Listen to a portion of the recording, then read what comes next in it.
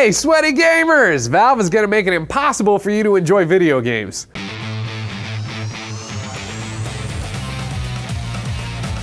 Now remember a couple of months ago when we talked about Valve and how they were experimenting with different types of controllers for the Steam box?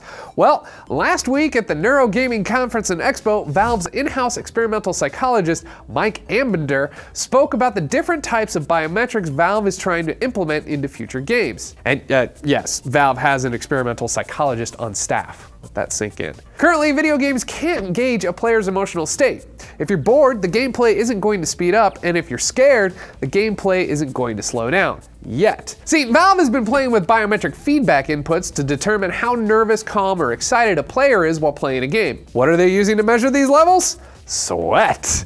Specifically, the pH levels found in a player's sweat gathered via a skin conductance. Currently, Valve has been testing the biofeedback devices with Left 4 Dead, specifically timed missions where you have to kill 100 zombies in 4 minutes, and if you're nervous, the timer speeds up, and if you're calm, the timer stays the same. Though no word on how the Teletubby mod affected the biofeedback.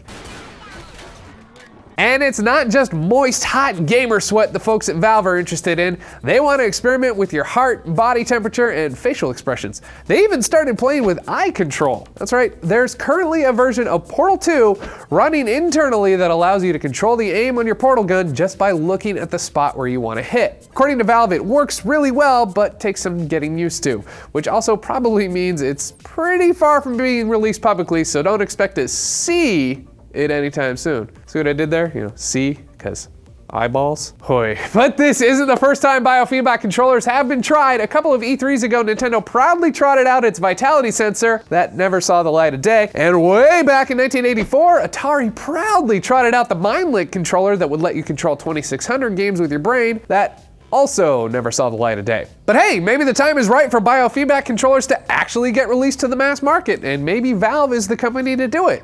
What do you guys think? Let me know below. And while we're on the subject of gaming, make sure to check out today's episode of Soldiers Tech Battlefield, where Mark Watson pits Android versus iOS to find out which platform offers the best mobile gaming experience. Also, don't forget about the Google Hangout Annie and I are doing a week from today on May 14th. More details and a link to the event page will be in the show notes below. And as always, please subscribe to the channel. For TFN, I'm Scott Bromley saying if I were a betting man, I'd say Valve's biometric controllers will be done right around the same time as Half-Life 2 Episode 3. And if you've been paying attention, probably never gonna come out. Just talking about it. That's what Gabe Newell does. He's a big talker. Big eater, too. Hungry boy.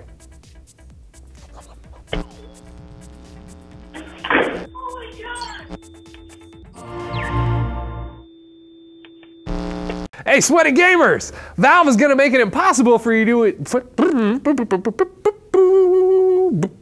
settle. Currently, Valve has been testing the bio biofeedback. Currently, Valve has been testing the biofeedback devices with Left 4 Dead.